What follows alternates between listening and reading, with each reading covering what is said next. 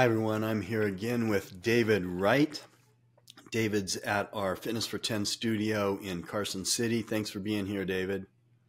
Thank you for having me, Steve. Now, this is something that,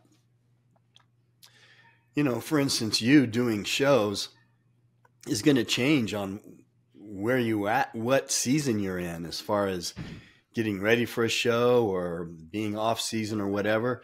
And it's going to change for me for sure on what my age is. I'm in my 60s and what I did in my 20s. So we'll talk. A, we're going to talk a little bit about um, what people eat or should eat, or what your choices are before you work out. What's the benefits and what's the negatives about certain foods, maybe. So if you guys like uh, fitness tips for beginners uh, or older adults, uh, like and subscribe to the channel. So uh, David, let's talk about okay, you're in your 40s.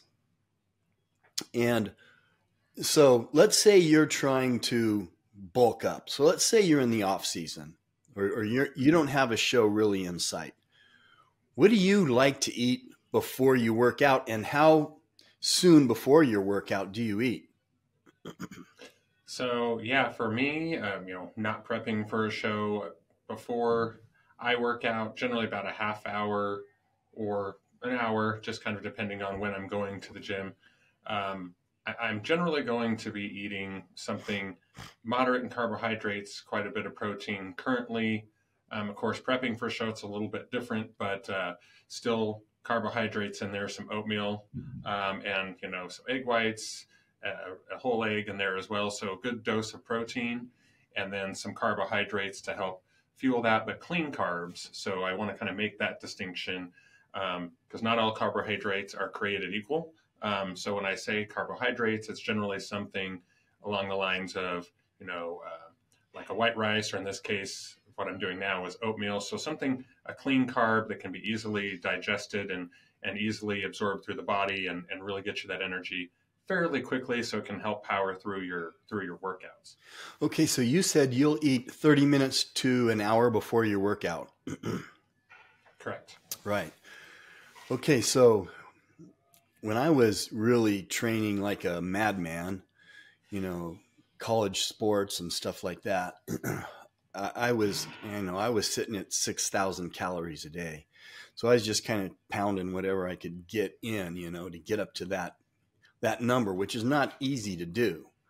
No. Um, but compared to now, I mean, in my 20s, I had to have, you know, carbs before and after. And I've always been an amino acid guy. But let me talk a little bit about what I do now, what I can do now in my 60s. Um, I don't have to eat anything before a workout. I can work out fasted. Now, when I was younger, I never would have tried that. That just wouldn't have worked. But it works now. It's amazing. I don't even notice that I didn't eat. However, I don't I don't do that. Um, well, if I'm not going to put any calories in or a lot of calories, and I can I don't I don't need to eat carbs before a workout either. Um, but I'm pounding the amino acids. You hear this on my channel all the time. I'm pounding the amino acids. So I'll take a couple scoops of amino acids. Um, and then I'll also take some arginine, some citrulline, some ornithine, and I'll take some some more essential amino acids. And so I'm I'm just loading up on the amino acids about 30 minutes before I go to the gym. And just in, you know, that's a good 20 grams of just amino acids, which is probably going to be equivalent to about 70 or 75 grams of protein, I would mm-hmm. estimate. You think so? Yeah. Because it's singular free form amino acids. So your body doesn't have to take it apart and then put the amino acid chains back together into a into forming a protein. So I'm estimating it's it's probably equivalent to about 70 grams of protein if, if I would have just ate 70 grams of protein. But the calories are much less. Amino acids, the singular form, you, you do have to count some calories for that. So they do break a fast. But I can do that. And when I take those amino acids, I'm also taking a scoop of five or six grams of creatine in those amino acids. And I usually do that before I work out. Sometimes I'll do it in addition after I work out.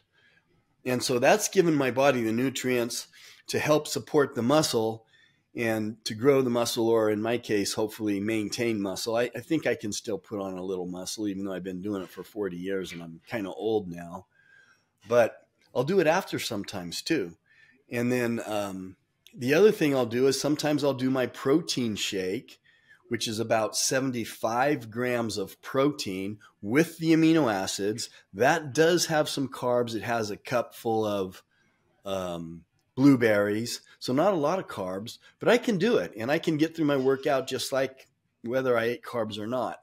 Um, my carbs are usually under 100 calories every day. And I just couldn't have gotten away with that uh, 40 years ago. There's no way I, I could have gotten away with that. So, um, what do you, when you're coaching people, David, mm-hmm. I know that every single person's an individual, and what I'm talking about is, look, everyone's different. But how do you handle your clients and with what their goals are, what they're trying to accomplish, what their age is, what their body, all these things matter, right? Your body composition. If you've got a lot of fat on you, um, what is your age?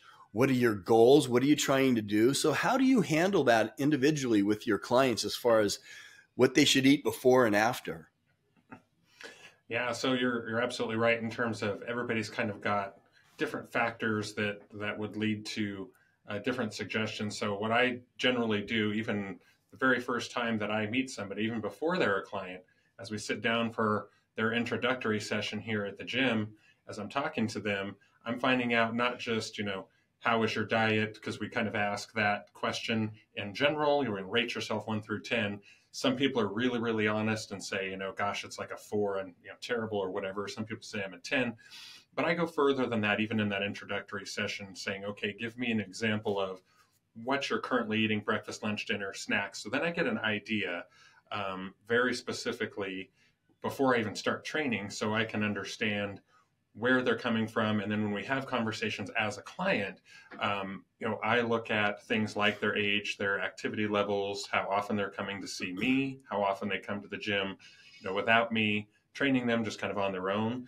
Um, but i make the recommendations really based on you know if it's you know a weight loss goal you know they want to lose 30 pounds um, you know okay what is your you know i already know what they're currently eating so i can have a better more in-depth conversation with them of okay well let's look at journaling for you know a week let's say. I want you to write down everything for a week. Don't leave anything out. Don't worry if you ate fast food today and you know ice cream tomorrow. Just write it down. I need to see kind of what you're what you're currently intaking so we can look at that and maybe we take out one one thing at a time or whatever that looks like. Because i try to make it so everybody understands it's not an impossible task and you don't have to change your diet 100%. So when people are coming before they work out, my general suggestion is, you know, we need to have something within your stomach. So a light snack of some sort. If they have any kind of um, you know, dietary needs, you know, uh, gluten free, any of those types of things, I always want to make sure that they understand, you know, eat something that you can eat that's not going to affect you know anything else. So if you're gluten free, eat something gluten free. But I, I, need you to have some kind of calories um, within your system. Don't go eat a you know a giant feast before you come because you know that can lead to other complications uh, when you come to the gym, side aches, things like that. But generally something light, bringing water. Everybody all the time. I'm always telling bring water with you, and I'm really big on them drinking water throughout the day and helping increase that as well to help everything feel better and kind of keep everything going. So that's the general recommendation is a light, some kind of a light meal. If they come at the toward the end of the day, like five, six o'clock at night, then of course they've probably eaten several times. I just try to say, you know, within that last hour or so, try not to eat anything that's too big of a meal, um, and that way you can you know feel a little bit more free to to move around, and we don't have a big meal in our stomach at that point. Okay, uh, we thank thanks for your input, David. And the, the last thing that I would say, just as far as um, what I do and what I think is important, is I want to make sure that my amino acid pool is full of lots of amino acids. So I'm getting protein before and after, or amino acids before and after, so that my body has um, abundant amount of amino acids so that it can do what it needs to do or what it wants to do around my workout. Now, I think that's important whether you're 20 or whether you're 65 to have that protein there so that your body, when it wants it, it can take it and make the protein change that it needs. So I think that's what's most important, but everyone's different. You got to kind of feel this out for yourself. And it takes time sometimes to learn your body.